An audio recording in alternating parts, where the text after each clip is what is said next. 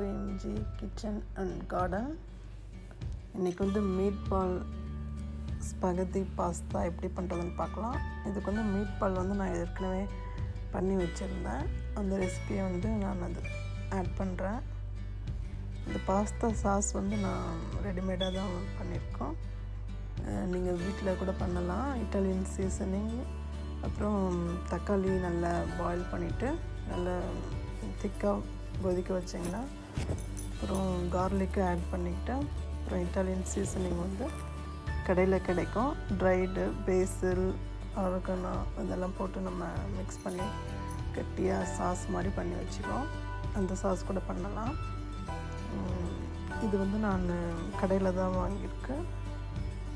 அது கூட ஆட் பண்ணிக்கிறோம். பாஸ்தா வந்து அந்த பேக்கெட்டில் எவ்வளோ மினிட்ஸ் வேக வைக்கணுமோ அது மாதிரி வேக வச்சுக்கலாம்.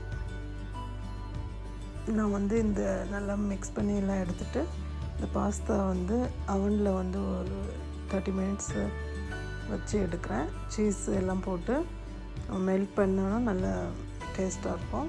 இது மாதிரி ட்ரை பண்ணி பாருங்கள் hope you like this video please share and subscribe thanks for வாட்சிங் thanks for your support.